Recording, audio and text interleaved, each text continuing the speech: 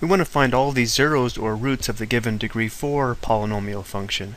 Because it's degree 4, we can expect four complex zeros as long as we count multiplicity, meaning we count possible double zeros and so on. To do this, we first want to find the rational zeros of the function, and we're often asked to make a list of possible rational zeros of the function. Well, the possible rational zeros will be the ratio of the factors of the constant term, in this case negative 40, to the factors of the leading coefficient, which in this case is just positive 1. So we're going to start by listing the factors of negative 40, the factors of positive 1, and then we'll find the possible ratios formed using these factors. The factors are going to be the integers that divide evenly into, in this case, negative 40 and positive 1. So the factors of negative 40 would be plus or minus 1, plus or minus 2, plus or minus 4, plus or minus 5, plus or minus 8, plus or minus 10, plus or minus 20, and plus or minus 40. These are all the numbers that would divide evenly into negative 40. And of course the factors of positive 1 are just plus or minus 1. And because the factors of positive 1 are just plus or minus 1, when we form the ratio of these two, or the factors of negative 40 over the factors of positive 1, notice how the possible rational zeros would just be the factors of negative 40. At this point, we could substitute these x values into the function to determine which of these make the function equal to 0, but this trial and error method would take a lot of time, so what I like to do is take a look at the graph of the function. Remember, our goal is to find the x values that make the function equal to 0, or the x values where y would be equal to 0. So graphically, the real zeros of this function would be the x-intercepts of its graph. So let's take a look at the graph and analyze it. Here's the graph of our degree 4 polynomial. Notice how it has two x-intercepts, which means it has two real zeros, and luckily they're also rational. We have an x-intercept here of negative 4 and an x-intercept here of positive 1. That means two of our zeros of the function are negative 4 and positive 1. This also tells us the other two zeros would have to be complex zeros. So again, because of the graph, we know that two of the zeros are x equals negative 4 and x equals positive 1. Notice how both of these are in the list of possible rational zeros. More importantly, this also helps us factor the original polynomial function. If x equals negative 4 is a zero of the function, then x plus 4 would have to be a factor. And if x equals 1 is a zero, then x minus 1 would also have to be a factor of the original polynomial function. So now we know that f of x must have a factor of x plus 4 and a factor of x minus 1. Because we have a degree 4 polynomial function, and both of these factors are degree 1, this would leave us with one degree 2 factor.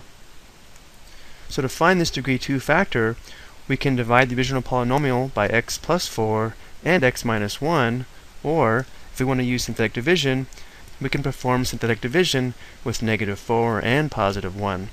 Let's go ahead and use synthetic division. Let's start by using negative 4. And then we're going to list the coefficients of the original polynomial function. So 1, negative 3, negative 12, 54, and negative 40.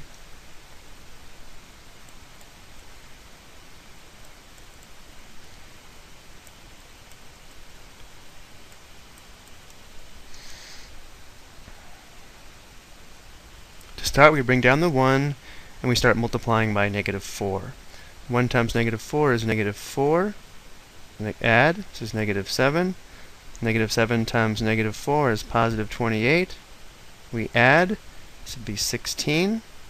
16 times negative 4 is negative 64. We add.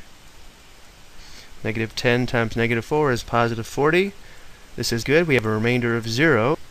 This represents the degree 3 quotient when dividing by x plus 4. But since x minus 1 is also a factor of our original function, it must also be a factor of this reduced polynomial. So now we're going to perform synthetic division with 1 using these coefficients, which again represent the quotient when dividing by x plus 4. So again, we're going to bring down the 1 and repeat synthetic division. 1 times 1 is 1. Add, this is negative 6. Times 1 is negative 6. Add, this is 10. 1 times 10 is 10, and our remainder is 0. So because we started with a degree 4 polynomial, divided by a degree 1 polynomial and then another degree 1 polynomial, these coefficients represent our degree 2 factor of the original polynomial function. So this factor here is 1x squared minus 6x plus 10, or just x squared minus 6x plus 10. And again, remember our goal here is to find the values of x that make this function equal to 0.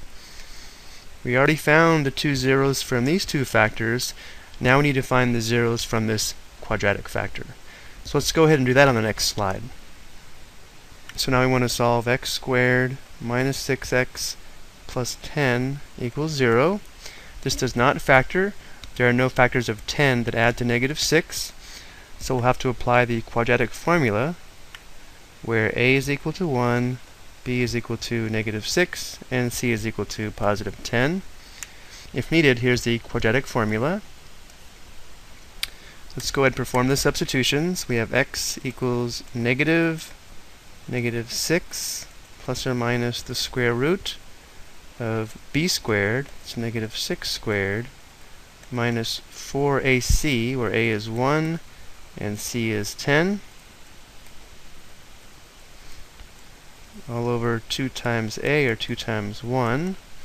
So this becomes positive 6 plus or minus the square root of, here we have positive 36 minus 40, that's going to be negative 4 all over 2. Continue simplifying, we have 6 plus or minus, well the square root of negative 4 is going to be imaginary. The square root of negative 4 is negative 1 times 4. The Square root of negative 1 is i, The square root of 4 is 2.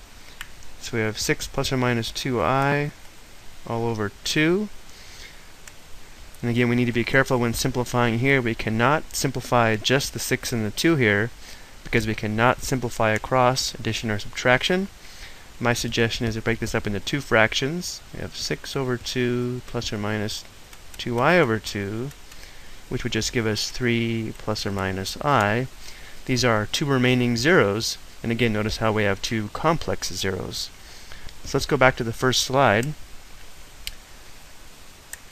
We found negative 4 and positive 1 as two zeros, and the other two are x equals 3 plus i and x equals 3 minus i.